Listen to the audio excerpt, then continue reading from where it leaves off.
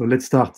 So the talk of uh, the first talk of this evening is about uh, cloud functions for Firebase, and uh, we are going to, to, to do a deep dive. Uh, and the, the, idea is to present the what, the when, the how, and the how not.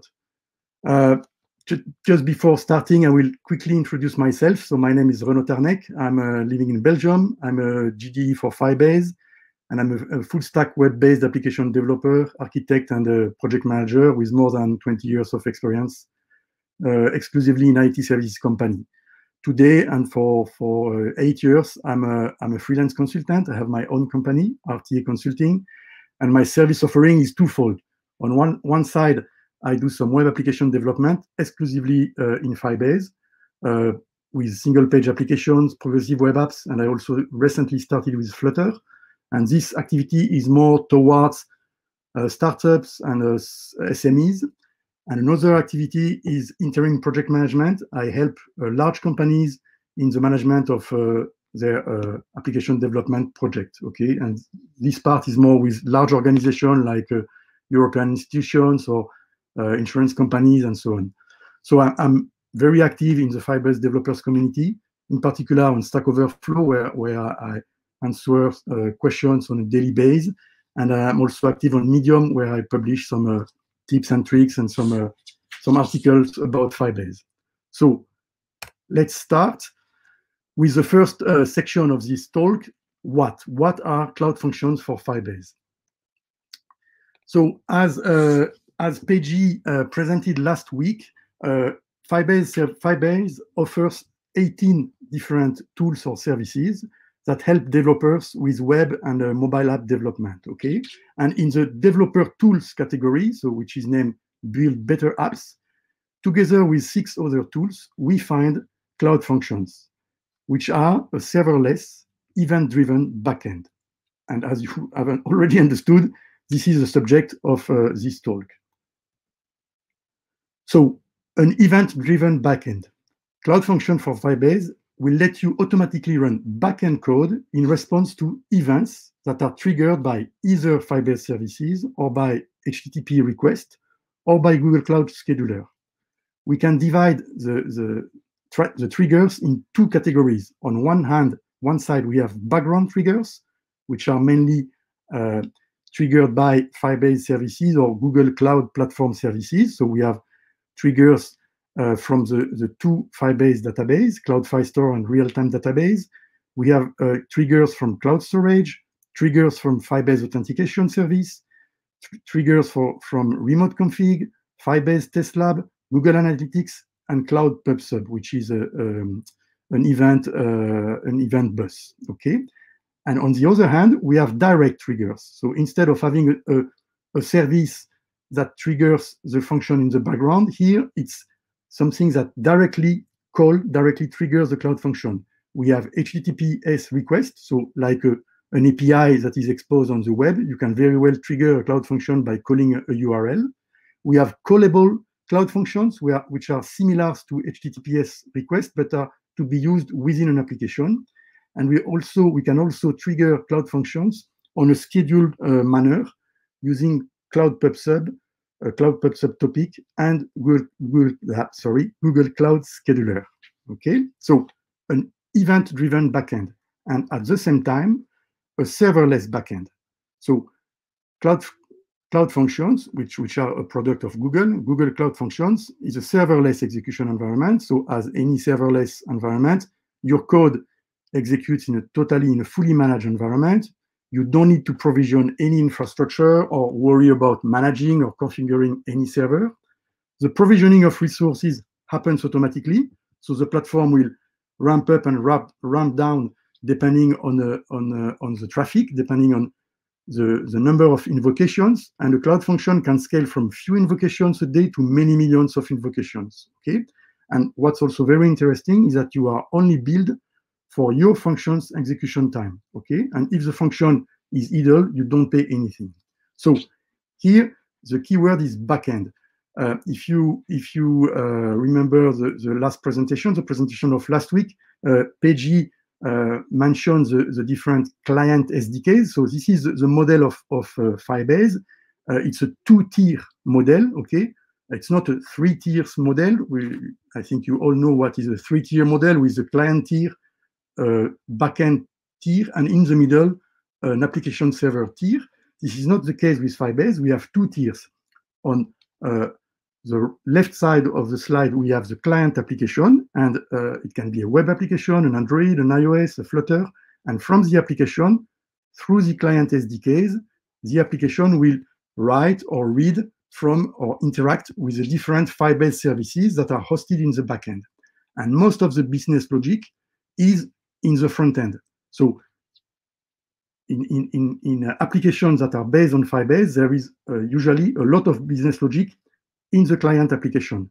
But with Cloud Function, we can also have business logic in the backend. And that's very interesting. And we will see uh, later on uh, why. Okay, so Cloud Functions, a backend uh, service, which gives you the opportunity to have business logic in two places in a, in a Firebase uh, environment. So what are the capabilities of Cloud Functions? So we are going to, to, to go through all the different possibilities and capabilities through this uh, diagram. So on the left side of the of the diagram of the of the image of the chart, we uh, we have all the different uh, triggers. So like I said, you can trigger a cloud function by calling uh, an HTTP endpoint, so through an HTTPS request. You can call a cloud function through your uh, client application, uh, through a callable cloud function. You can trigger in the background, you can trigger a cloud function by all the Firebase services. You can trigger a cloud function by pub/sub messages, or you can schedule a cloud function to be run at uh, regularly at certain uh, certain moment, exactly like a like a cron job. Okay, and when the cloud function is triggered, what, what's happening? The cloud function can interact with the Firebase services, like writing to the database or reading a file in cloud storage or creating a new user in the authentication services, etc.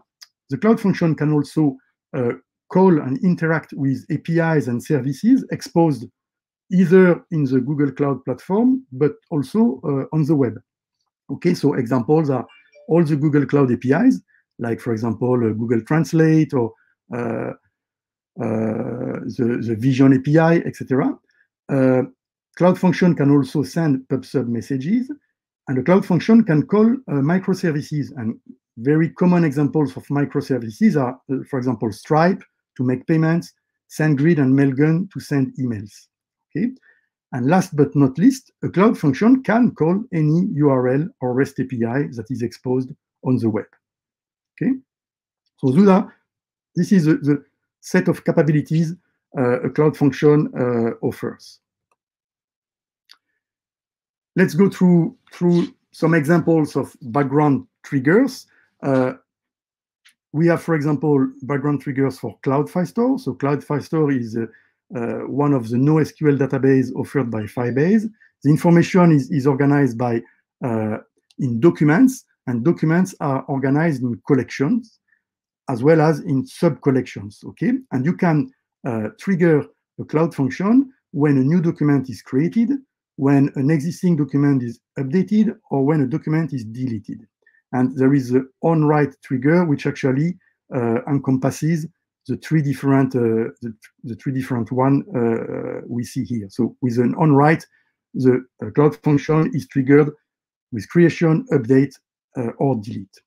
For cloud storage, in any bucket in cloud storage, you can trigger a cloud function when a new object is created, when an object is deleted, or when uh, uh, an object in a, in a bucket is uh, archived for buckets with versioning, or when uh, an object gets an, an, update of its metadata.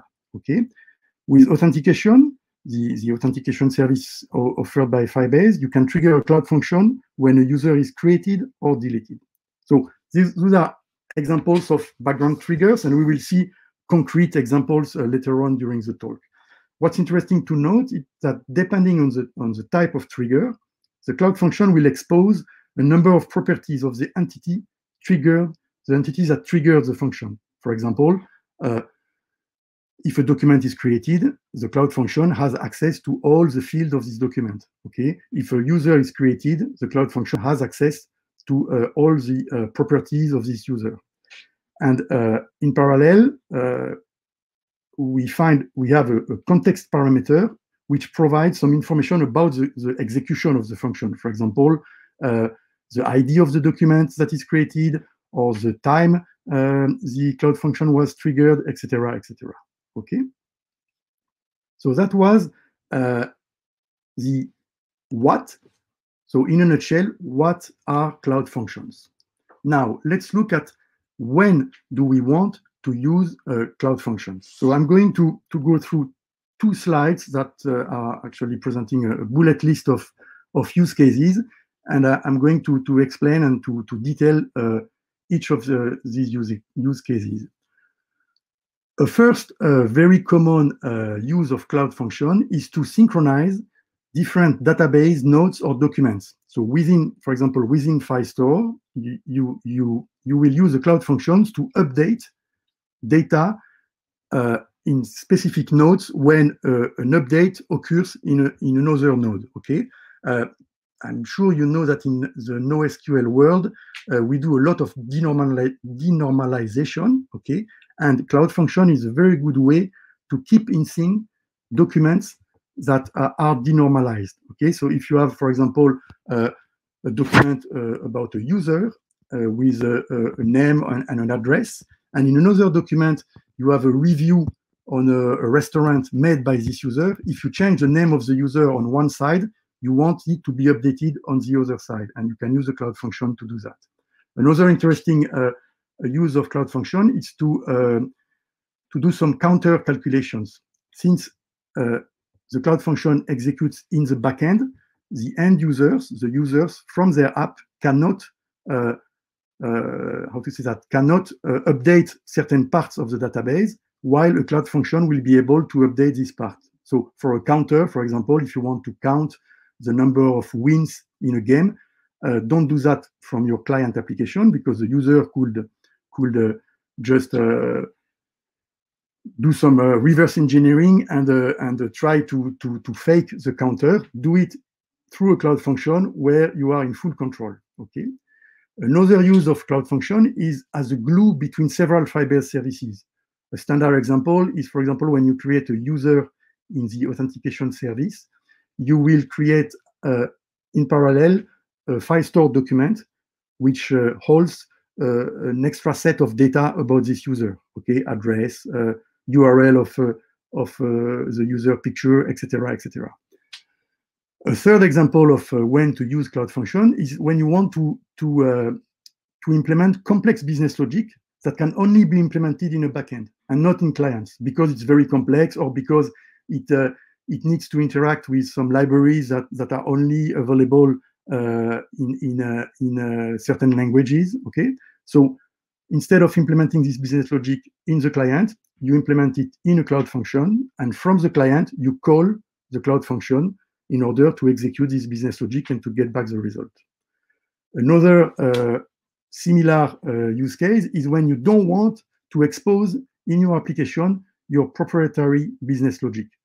Uh, as you know, it's not very difficult to reverse engineer uh, an Android app or a web app. Okay, so in some cases you don't want to expose your business logic because it's your it's your asset, and uh, what you can do is to implement this business logic in a cloud function, and users will not be able to to see the code of this cloud, function.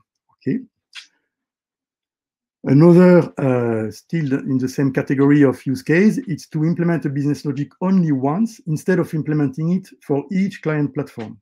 So today with, with uh, platforms like Flutter, this is less, maybe a little bit less interesting, but it's still interesting if you if you want to, to have really native Android, iOS application and maybe a web application that all do the same thing, instead of replicating the business logic in, in different languages for each platform, you will uh, you will use a cloud function uh, in the backend, and you will uh, develop only once. Okay. You can use, or you will use also a cloud function. Give me a second. I will just close this one. Sorry. You will um, use a cloud function if you want to execute intensive tasks in the cloud instead of in your app. Okay. So, for example, a, a heavy calculation or something like that, you don't want the user to wait uh, in the application that this process is is, uh, is completed. So you can just call a cloud function, having the, the cloud with all the power of the of the Google Cloud Platform executing the, this complex, intensive uh, business logic and send back the result.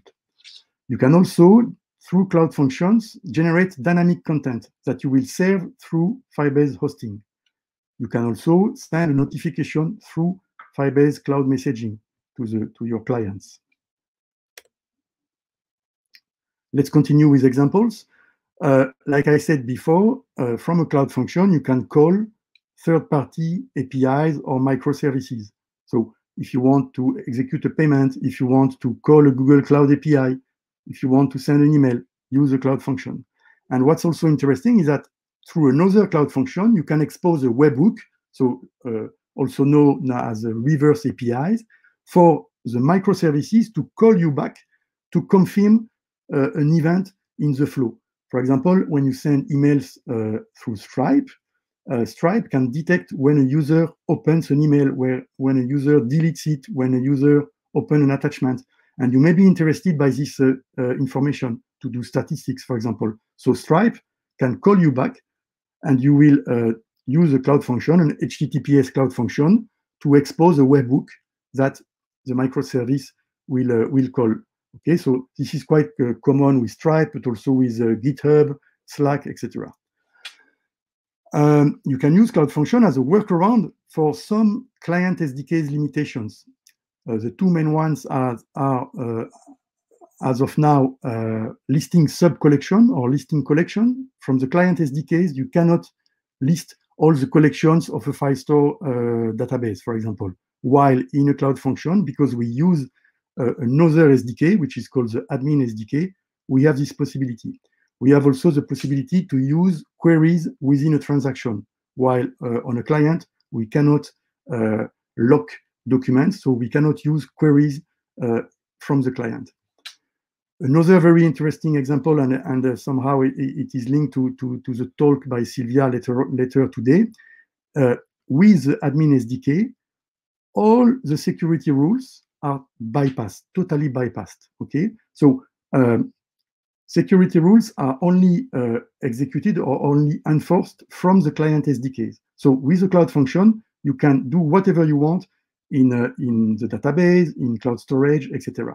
So it, it can be very interesting, for example, if you want uh, to, to fine tune the access or if you want to, to execute admin, uh, admin actions, you do them through cloud functions because you are sure that uh, if you uh, on the other hand, set up some security rules that protect uh, the specific area you want to, to interact with, you know that you will be able to interact with this, uh, for example, a specific collection in, in Firestore, you will be able to interact it from a cloud function, while from the clients, it will not be possible because there are security rules uh, that prevent users to, to, to, to interact with this uh, specific collection, to write and read this collection, okay?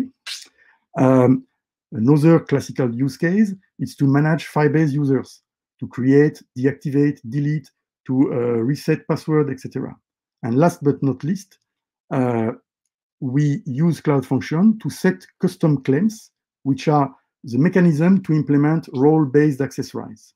Okay, so those two slides uh, aimed at listing a set of use cases, but uh, we could have uh, three, four, five, six, seven slides. Okay, there are a lot of, of potential use case for cloud functions. And at the end of the presentation, I, I uh, give some links to some uh, other sources uh, presenting some, some, some additional use cases.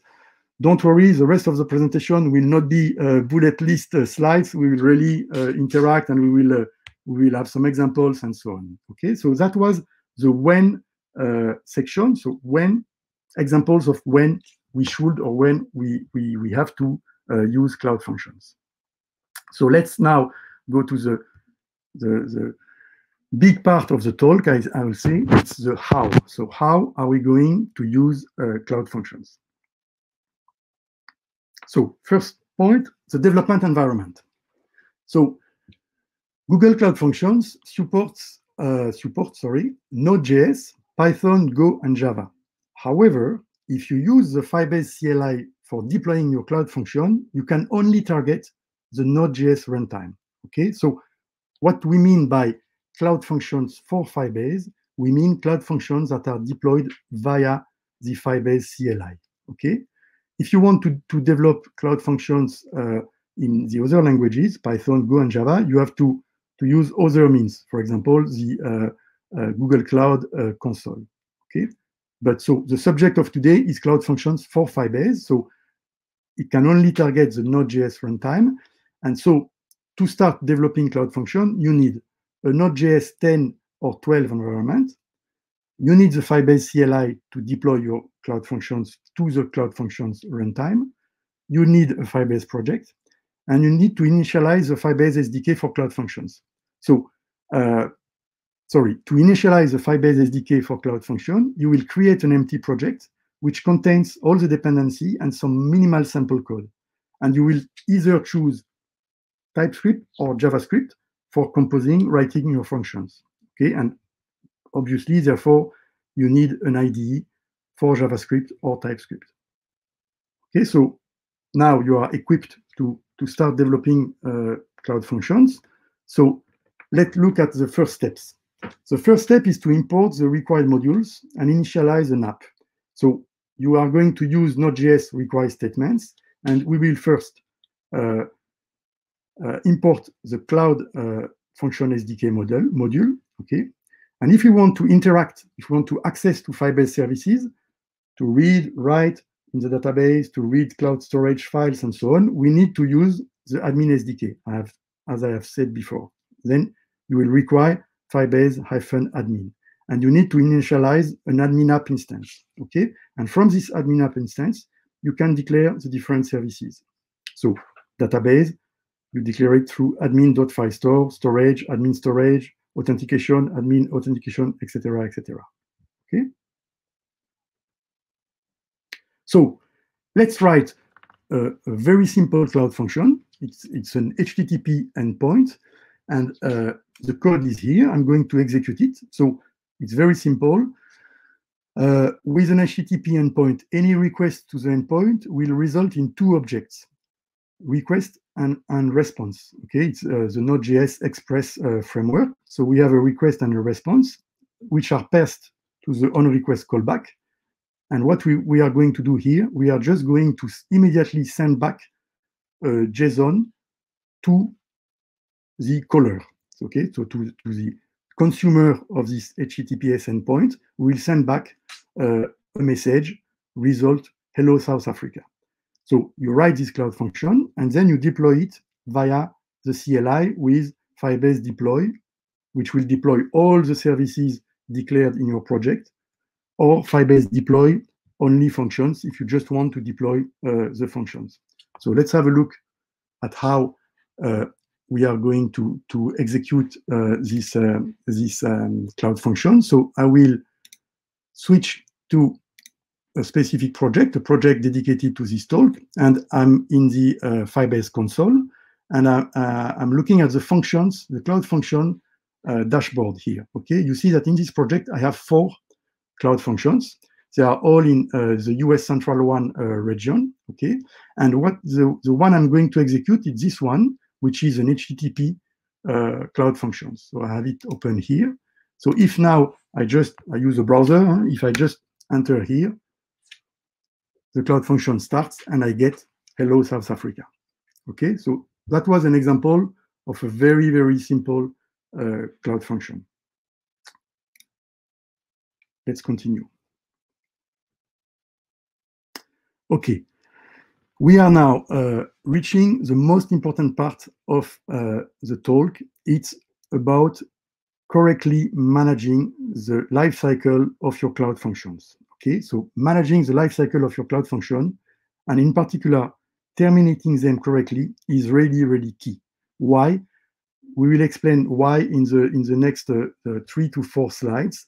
But let's first try to explain what happens when a cloud function is triggered by an event. So here uh, we are in a let's say uh, so we are looking at one cloud function which will uh, have several instances. So the slides show two instances of the same cloud function. So we have we have the time here, okay, the timeline. So how does it work? We have the cloud function platform, which is waiting for, for events. We have a first event that is triggered. And so the cloud function platform receives the, the event and spin up, spins up a first instance. So it spins up the instance.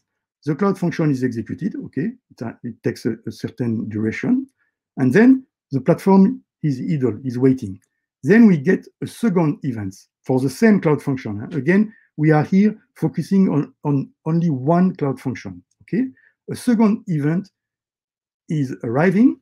This instance is not executing uh, any cloud function, so it can uh, take this event in charge and it starts uh, running the cloud function again, corresponding to this event. Okay, so in one instance, events are treated one after the other in serial. Okay, so one instance cannot uh, treat uh, events in parallel. Okay, so that's very important. So for the third event that is coming, you see that it comes and the platform sees that instance number one is still working on, on, a, on the execution of the previous uh, triggering. So what does the Cloud Function platform? The Cloud Function platform spins up a second instance in order to answer to this uh, event. Okay, so the second instance is triggered the cloud function is executed. We get at this moment in the middle of the execution of this cloud function by uh, within instance number two, we get again an event. Instance number one is able to take it because the, the previous execution is finished. So instance one takes the, uh, the event and starts the cloud function. Now, it's very important to note that the cloud function platform, it's a serverless platform. So what what uh, the serverless platform is going to ramp up and ramp down. Okay, so it will start, it will spin up uh, instances on demand when when necessary, but it will also constantly look if it, it can stop and kill some instances. Okay, so ramping up and ramping down. So at this moment, and totally out of your control, uh, regularly the cloud function will will check if it can stop the instance. Okay, so here it check if it can stop the instance number one, but the Cloud Function Platform sees that there is an execution running, so it doesn't uh, shut down this instance. Okay. Later on, it, the Cloud Function Platform check if it can shut down instance number two. Instance number two is idle, nothing, nothing is happening because it has done its job with uh, the, this event. Okay, so the Cloud Function Platform clean up and uh, and uh, and uh, kill instance number two. Okay. Later on, we have an we have a, an extra event. Instance number one is still available, so the cloud function is started. During the execution, again, the cloud function platform tries to, to shut down this instance, but it's not possible because there is a, a run currently uh, being executed. And the next time the, the platform tries uh, to shut down instance number one. Nothing is being executed, so no problem. The shutdown uh, can uh, can happen successfully. Okay, and what's the key point here is those two ones, the, the those two occurrence of of the check by the Cloud Function platform to clean up and uh, kill this instance while the Cloud Function is running. So obviously, the platform should not stop the instance at this moment because you are currently in the middle of a cloud function execution. Okay, so we are going to, to, to see in the next slide how you can inform, how you can uh, yeah, inform the cloud function platform that it's not the time to kill this instance. Okay, so why it is important to correctly manage the, the cloud function lifecycle? It's to make sure that the cloud functions instance running your function does not shut down before the cloud function successfully reaches its termi terminating condition or state. Okay, so most of the activities, most of the uh, uh, the work that you will do in a cloud function is asynchronous. Okay, writing to the database, calling uh, calling an API on the web, etc., etc. And it's only when all this asynchronous work is completed that it is safe to terminate your cloud function. Okay, so you should not let your cloud function terminate while the work is still going on, okay, as we just illustrated with the, with the previous diagram. And also it's important to avoid excessive charges from functions that run too long, okay, or loop infinitely. So those are the two uh, main reasons why it's really important to manage the, the cloud function lifecycle. And uh, on Stack Overflow, I see a lot of, of questions where uh, the developer is totally puzzled because sometimes the cloud function works correctly and sometimes it doesn't work correctly. And there is no clear pattern, you know, and why is that happening? So the, the, the reason is that sometimes uh, the platform gives the time to the cloud function to execute before checking if it can be shut down. So in this case, yeah, the cloud function is executed, but in some other cases, the uh, platform kills the cloud function because the lifecycle is not correctly managed. Okay? So how to do that correctly? How to terminate a cloud function correctly? You have we have two cases. For the HTTP triggered cloud functions, we have to send a response with uh, the re redirect, send, or end methods. For a background triggered and callable uh, cloud functions, we need to return a promise or null or an object. Okay, so uh, if I will be in front of you in a, in a room, I will ask uh, people to raise their hand, the ones that, that, that know what, what is a, a promise in JavaScript.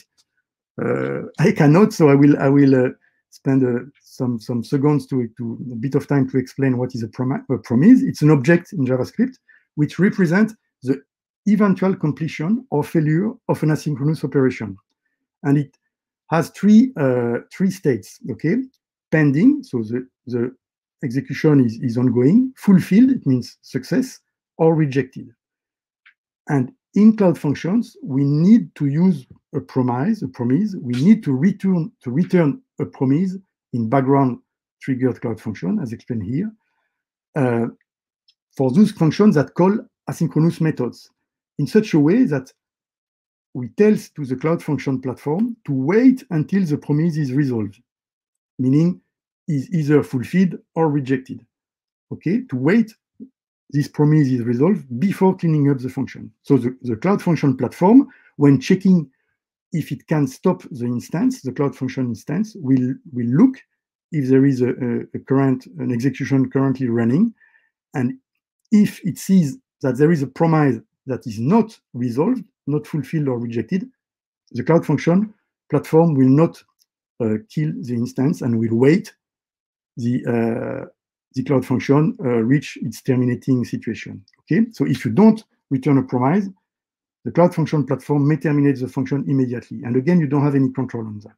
Okay, the only control you have you have is to correctly terminate your cloud function by either sending a response for HTTP ones or using promises for background triggered and callable ones. Okay, so let, let's look at, at uh, some examples, two concrete examples. So this is the, the, cloud function we just executed before. Here, we are correctly uh, managing the lifecycle because you see we are using the send method and we are calling the send method on the response object. So uh, no, no problem to no problem with this one. So this this uh, cloud function is is very polite, you know, it's, it's a hello, but to be honest, it's not very useful in a in a in a real application. Okay, so like I said, in most of the times you will uh, you will have some asynchronous job uh, within your cloud functions. So here is an example, quite simple, and we will see it uh, running later on. The idea here, so it's a background triggered cloud function because we trigger the cloud function uh, when a new document is created uh, in Firestore, and a new document is cre created in the cities collection. So we have a collection where we have a list of cities, and when a new uh, document is created in this uh, in this collection. What we want, we want to make a log of the creation. So we, through the context object, we get the ID of the of the document that is created. We get the timestamp uh, at which the event happened, and we write in a collection called cities creation log. We just add a new document with these two uh, two values. Okay. So here, what we are doing, we are returning the promise, the promise returned by the add method. So the add method is a, is a Firestore uh, method, and this method returns a promise. So we are returning the promise returned by this add method, and then everything is fine in terms of uh, lifecycle management. But we were here looking at, at a, a case where we, we only call uh, we call only one asynchronous method, but in many cases you will probably uh, have several asynchronous calls. Okay, so we have two cases: sequential calls, back-to-back -back calls. In this case, uh, we still have to use the fact that those asynchronous method from Firebase, from the Firebase admin SDK, return promise. And so what we have to do, we are going to use the async await uh, keywords. So we declare our cloud function async, okay, here. And we use the await keyword in the code to make JavaScript waits until each promise resolves and return its result, okay? Um, just for you to know, at the end of the presentation, and I will share the screen, I uh, explain how to, to do the same thing with uh, then, which is a way to chain promise. It's somehow the, the, uh, the way we, we used to deal with promise before async await uh, was, was, uh, was available, okay? But with async await, it's, it's very interesting because you, you write uh, asynchronous code in a, in a synchronous in a synchronous way. You see, you don't have you don't have to to use callbacks. You don't have to use the the then method. You just uh, here with one line. I know that I'm waiting. That my code is waiting. That this asynchronous method is completed. Is uh, is uh, is uh, resolved. Okay. So in, in a nutshell, I have an async uh, cloud function. I call a first asynchronous method. I await the execution of this method, I get a result. I use this result in another Firebase asynchronous method, okay, and I await the execution of, uh, of this uh, asynchronous call, and then I call a third Firebase asynchronous method, and I return the promise, the promise returned by this method, okay? Doing uh, like that is also okay if you want, for example, to log the fact that this function has correctly ended or to, to, to log a result and so on. Instead of returning directly returning the, prom the promise, you can await the execution of the asynchronous method and later on return null. And you can do that because async functions always return uh, promise, a promise, a promise. Okay, so here at the end, the async function will return a promise. So you can return null, you can return an object, you can return a string, whatever you want. At the end, since it's an async function, it will return a promise and uh, the platform will be happy and uh, will know if uh, it can or not kill this, this instance. Let me look at the time. I don't want to. Okay. Um, another case, it's to, um, so no, sorry, this one is an example and we are going to run it. So I said that we had two main cases. The first one is sequential calls, okay? And let's have a, a concrete example of a cloud function that uh, runs sequentially. So what are we going to do in this cloud function? We are going to uh, interact between cloud storage on one hand and cloud Firestore on the other hand. So the, it is a background trigger cloud function, and uh, it will be triggered when a new object is created in cloud storage. Okay. So what, what are we doing here? First of all, we are getting from uh, the, the object passed to the, to the callback function, we are getting the bucket, so the, the, the place where the file was uploaded. We, uh, we get the, the file name, and uh, we, we declared a configuration to get a signed URL. So I'm sure uh, all of you know what is a signed URL. It's a temporary URL uh, that is used to open a file stored uh, in, a, in, a, in, a, storage service in, in the cloud. Okay, so here we this configuration for this signed URL uh, is that it can be used only for read and it has an expiration date. Okay, so when we we have this configuration, we can call an asynchronous uh, Firebase method, the cloud storage method, which is called get signed URL. We passed we pass the config to this method, and since it's an asynchronous one, we use the await keyword and we get an array with one element which contain the signed URL. So with this URL, so again, we have uploaded an image to cloud storage, and now we, we have a signed URL for this image. And what we are going to do is to write this signed URL in a document in Firestore. So we uh, call admin Firestore collection. It's a collection with uh, that is named signed URLs. And in this collection, we add a document with two fields. The first one is the file name, and the second one is a signed URL. Okay, and we return again the promise returned by the add method. So let's give a try to this one. So I will I will uh, head to uh, storage.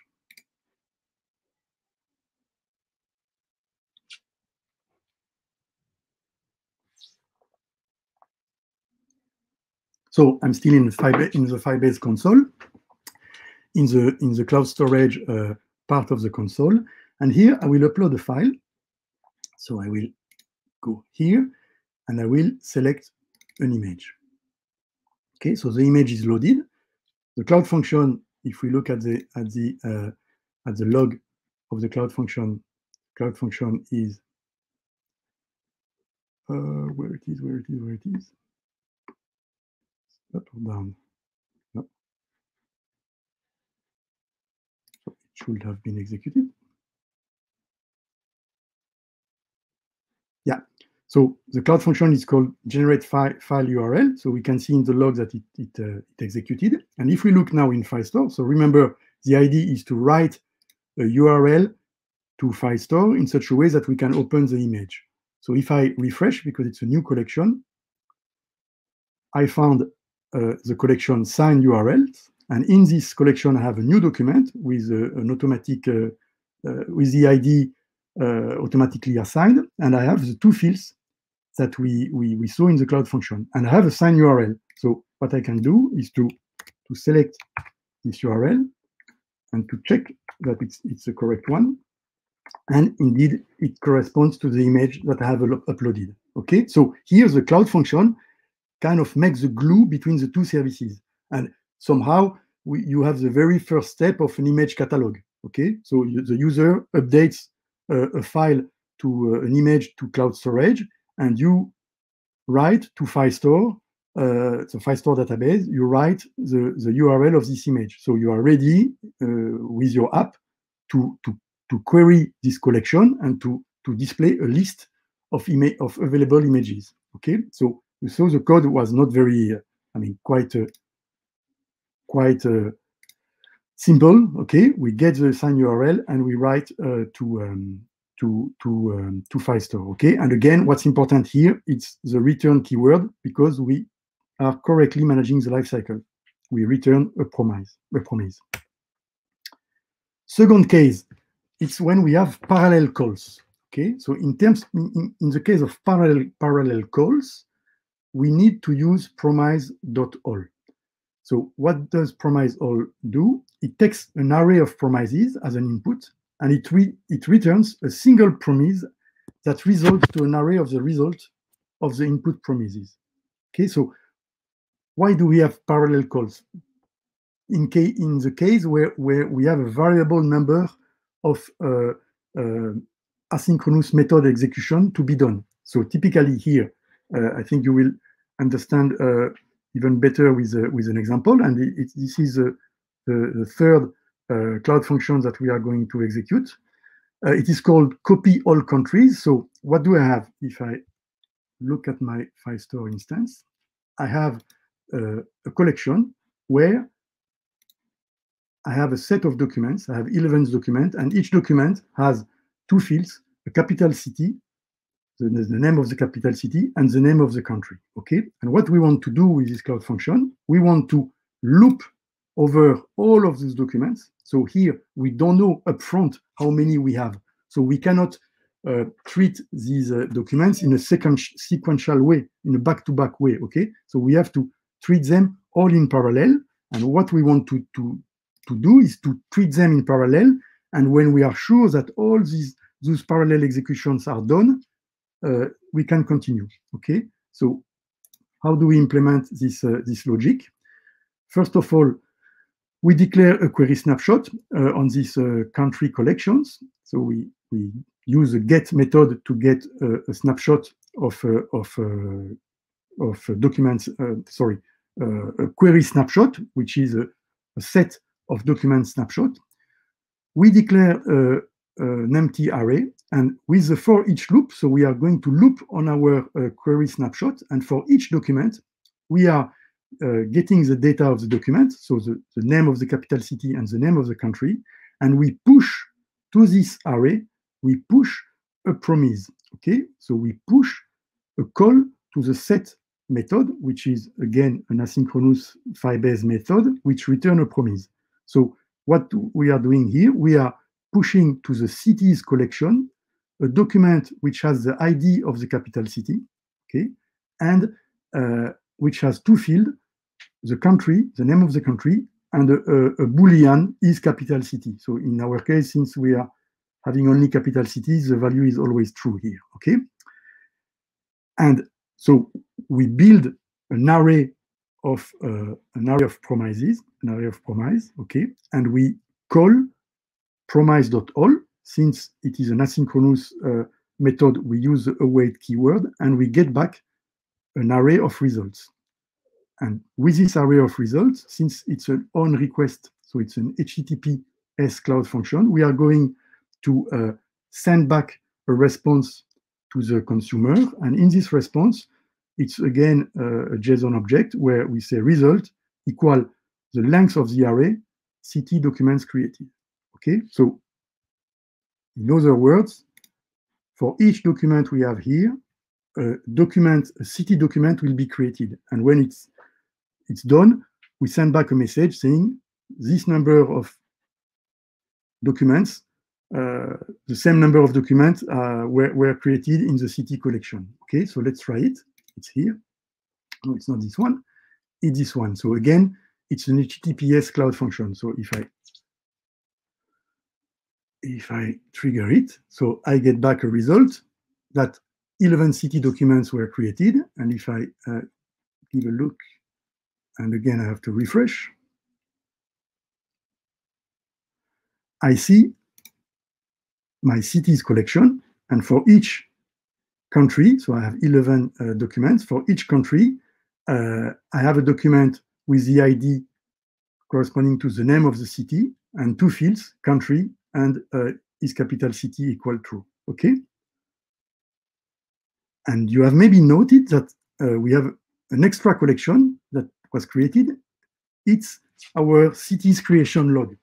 So you remember uh, previously, I, I shown uh, uh, I show sorry uh, um, I shown a cloud function that will implement a, a kind of log for uh, creation of city documents. So for each document that were that was created by the cloud function, another cloud function was triggered and uh, uh, to create a corresponding log document with the ID of the document and the timestamp of, of creation.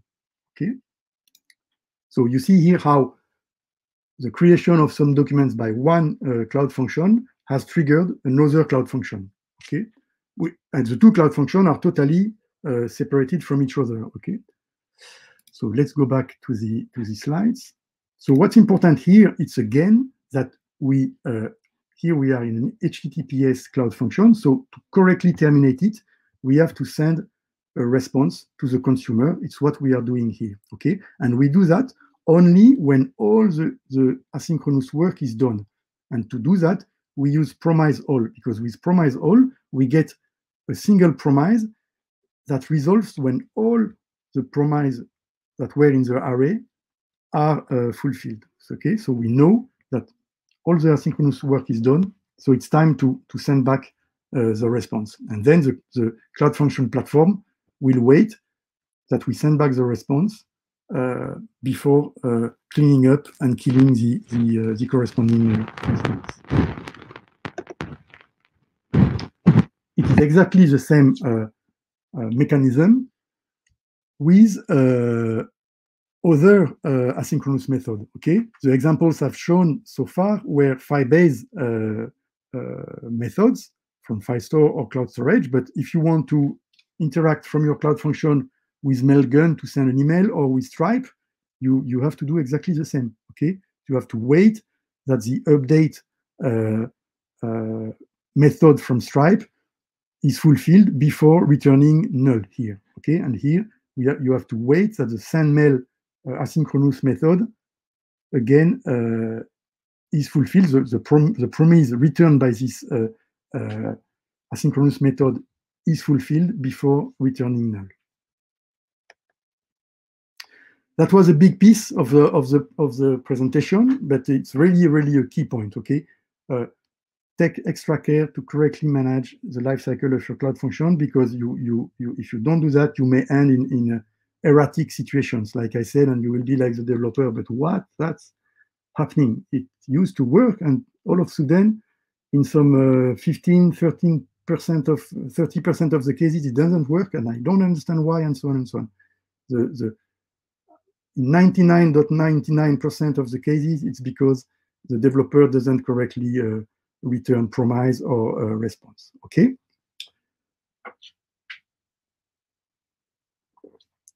So how long do I have? It's six. I still have 20, 20 minutes, something like that. Huh? Can you can you confirm? Please.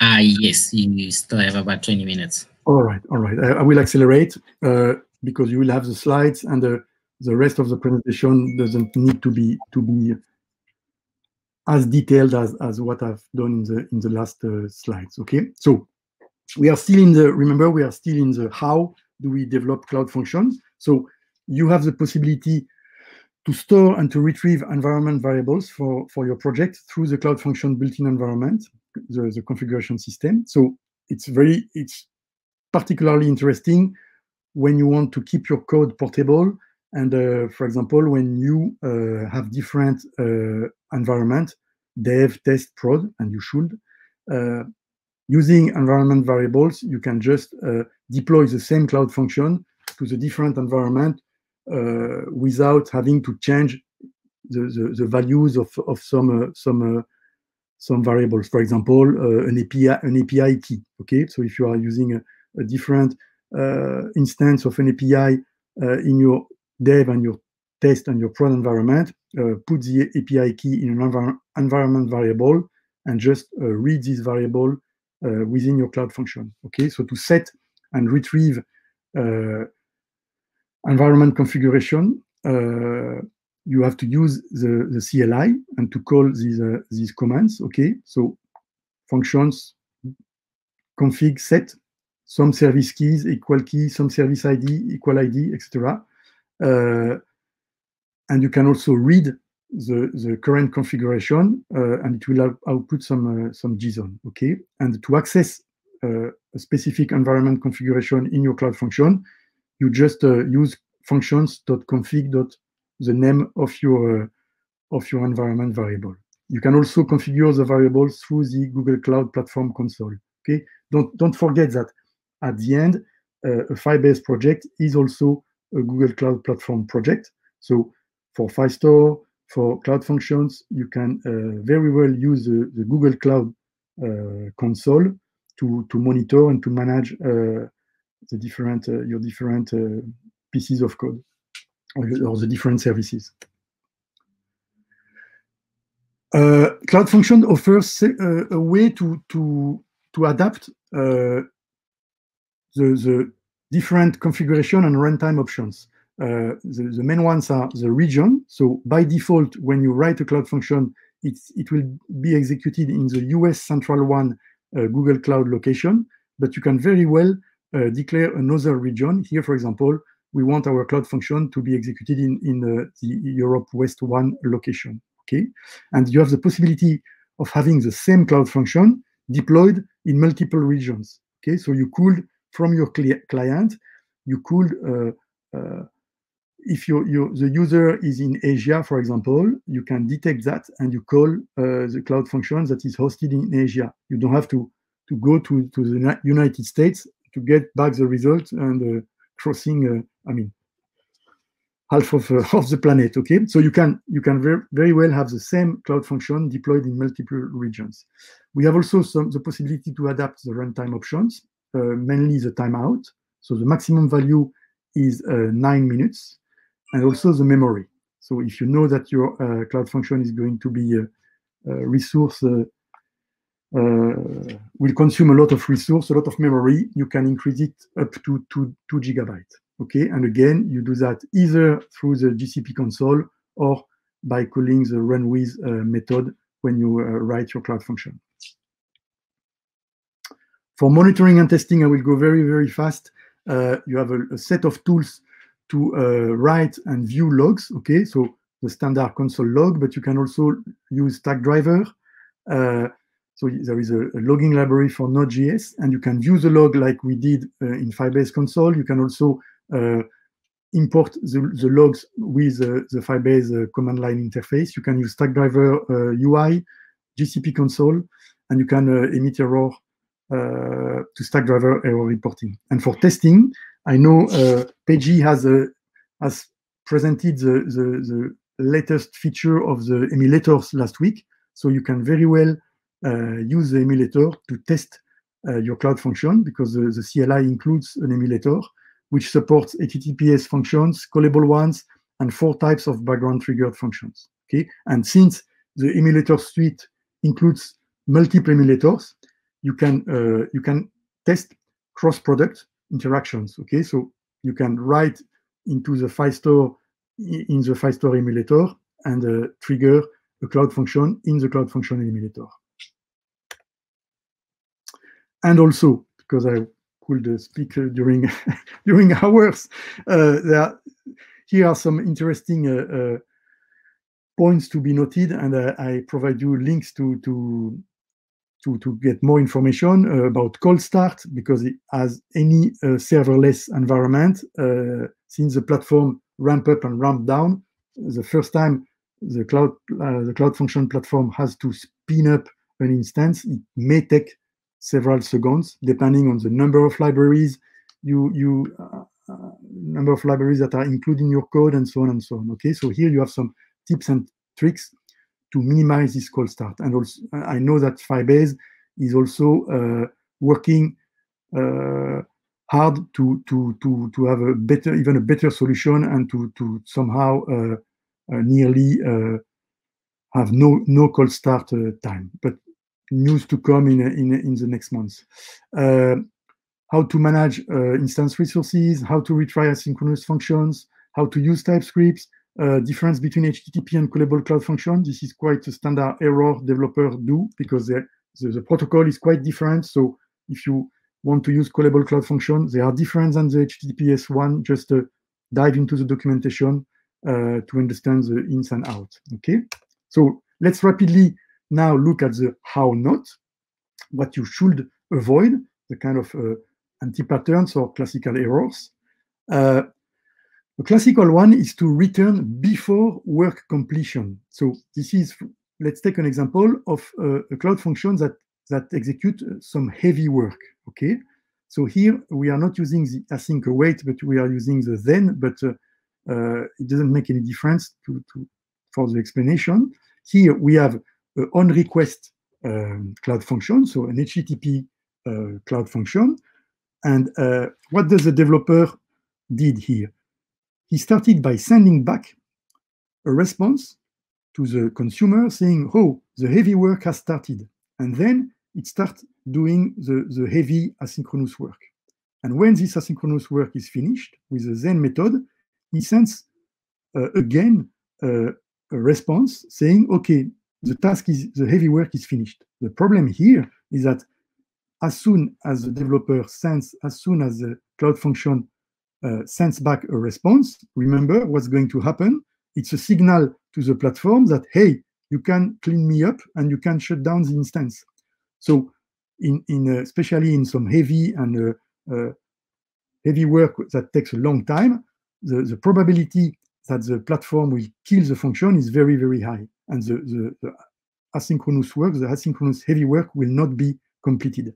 So what you have to do in this situation is to use pub sub to send a message on a, on a, on the bus and to through this message to start another cloud function that will take in charge the heavy work. Okay, so what you do, uh, we uh, import the, the Google Cloud PubSub uh, library, and here we, through those lines, actually we build a message and we publish this uh, this uh, this message in a, in a specific topic, and then we know that we have delegate the heavy work to another cloud function, and then it's safe to send back uh, a response. And here we can say, okay, Mr. Custom, Mr. Consumer, the heavy work is acknowledged and uh, is going to start.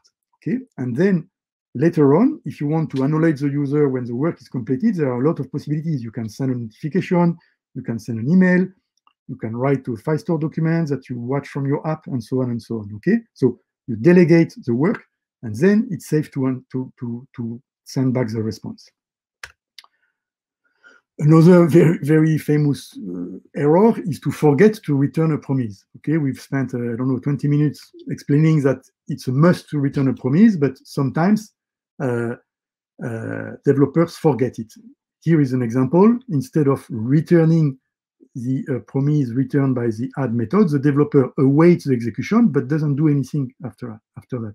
So we should either uh, return here instead of await, or we can keep await, but here we have to do return null, as, as we have seen in, in some previous slides, okay? Another classical error is to create an infinite loop. Uh, a classical uh, situation is where you uh, you have a cloud function. So here we have a, a, background trigger cloud function in Firestore, which is triggered when a document is updated.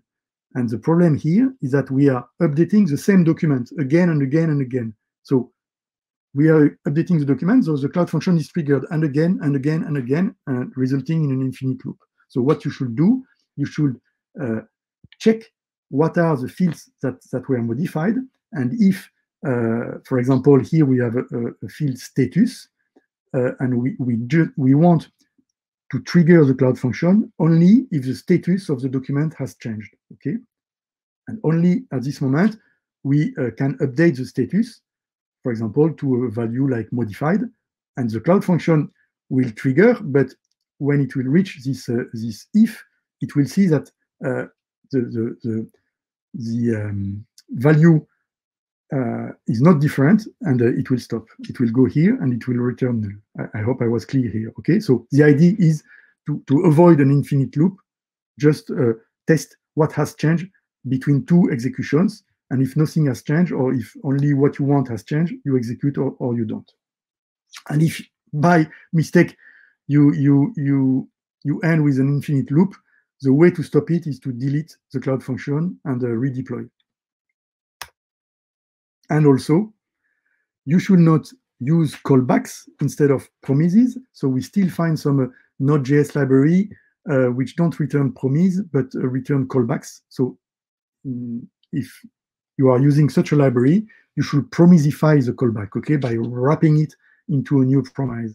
Another common mistake is uh, to use a, a, database listener like on Snapshot in in, uh, in Firestore, where the, the typically on snapshot is used from a client application where you are constantly listening to some uh, changes in Firestore, okay? But in a cloud function, it doesn't make sense to do that because the cloud function is something that has a short uh, execution time, okay? So you should, instead of setting a listener, you should read once what you want to read, what you want to get, and that's it. Uh, also, don't execute very long operations. Uh, like uh, like I said, the maximum uh, duration for a cloud function is nine minutes. So if you have some some code that needs a longer time to execute, you should choose another approach, another uh, service like App Engine or, or etc. Okay. Uh, another classical error is when you work with with uh, with files, for example, to to uh, analyze images or to create thumbnails and stuff like that. In Cloud Function, you are going to, to save and read uh, files, uh, temporary, temporary files, and they are stored in memory. They are not stored on the disk. They are stored in memory. And you should not forget to clean up, to delete them when you're at the end of your Cloud Function. Because if you don't, they will uh, stay in the in the cloud function in the instance memory, and it will pile up up to up to a crash. Okay, and also another classical function is to uh, to directly use the await key, keyword within a for each loop. It doesn't work because for for each waits uh, for a callback function, while await return a promise returns a promise. So it doesn't work. The way to to to deal with that is to use promise all. So exactly like the example I shown, you uh, you uh, declare an array, and in your for uh, in your for each loop, you populate the array, and after that you call promise all. Okay. I have a demo app, but I think we don't have the time. So uh, it's a it's a it's an application that um, translates uh, an image that is uploaded. Okay, you can upload an image. I can give a, a very very very fast uh, demo. Okay, so it's something that you can use with your uh, with your um, uh, mobile phone. Okay, and uh, you take a picture. So here I'm on, on on a laptop, so I will select an image, an image containing some text. Okay, and it will trigger a set of cloud functions, and it will uh, call the Google Translate API get back the uh, the English uh, translation and will display it in the uh, in the application at the bottom. So there is a, a bit of of, of cold start, but you see the app has identified that the original language was Italian and gives me back the, the English uh, uh, version. I draw your attention on the fact that this application is quite interesting to see how you can orchestrate different cloud functions, different services in such a way to to uh, to build such an app and uh, and uh, you will be surprised because actually the code to write such an application is mo not more than 25 lines okay so you will find in the slide uh, the um, an article on medium on medium which explain exactly how uh, how it works with uh, with uh, okay, some demo of of the screen and also really a detailed explanation on how all those different services Firestore, Cloud Storage, Cloud Function, Cloud Vision API, and the Firebase extension are orchestrated all together to give this result. So I, if you are interested, I think it's a very good uh, uh, examples. And uh, yeah. Uh, and that's it. There is a slide with some more general links. Okay, more use case. The official Cloud Function library, which is on GitHub. It's a really a, a must read. The official video series, a must watch. Uh, and some uh, a link to some tips and tricks. And with that, I would like to, to thank you all for having listened to me. I hope it was interesting. Uh, let's connect on Twitter, on LinkedIn, on Medium. I will be happy to connect to, with all of you. And uh, let's open the, the floor for Q&A. Um, thank you very much for a wonderful uh, talk, Renat. Um, while we are waiting for uh, some questions from uh, our audience, uh, some of our members have uh, shown interest. Uh, if uh, I, I, if you will be willing to share your slides on Twitter or something, um, they'll really appreciate it. They, they, I think they want to go through the slides. Um, uh, can I ask uh, our audience members uh, in chat to start uh, posting some questions uh, for Renat? Um, there is a question from Casey. Um, is there a way to keep up at least one instance running at all times as uh, sometimes one API call can take to 10 seconds to kick up um, the instance? Um, causing a bad experience for for users. So if your API call, uh, whenever, okay, so here it's about the cold start, okay, that I was I was mentioning. Uh, like I said, uh, Firebase is actively working on, on, on that, and there will be some uh, good news, I think, in the next month. I cannot uh, disclose too many details, but the idea is indeed to have the possibility, if I had correctly understood, to to to to have something like that to keep up uh, one instance running. So let's see what what's going to happen. But uh, they are they are very aware of of of, of that of this uh, not this problem, but of, of, of the fact that we could improve this uh, this point. So there will be some some good news, I, I think, in the next months. Okay, so here it's really the problem of of cold start. Okay, so where uh, one API call can take up to 10 seconds because the the the what what's happening is that the the, the Google Cloud platform has to take the container containing the the cloud function and has to deploy it in a new instance. Okay, and then uh, all the, the libraries used in your cloud function have have to be loaded, and only then it can start. Okay, so this is the the, the, the cold start phenomenon is known, and again, but it's difficult in a serverless environment to, to really reduce that to, to zero. So some good news to come. Uh, another question from uh, Casey. Will there ever be an African zone? The latency is really bad for South African users. Um, I don't know. I don't know. Comments on that? I don't know. Sorry, I don't have the answer, and I do understand. Uh, maybe, uh, yeah, contact the Firebase support and uh, push on any communication channel that you that you can. Uh, but probably in the future it will come, but I have no no information around that. Sorry. Thank you, Tash. Uh, just uh, comments. Um, really great talk, Renat. Uh, thank you. Uh, from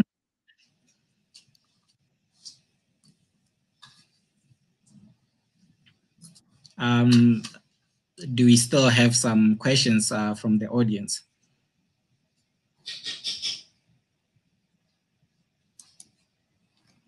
Okay, thank you very much, uh, Renat. Um, I think um, uh, that's, uh, that's all uh, from our audience in terms of questions.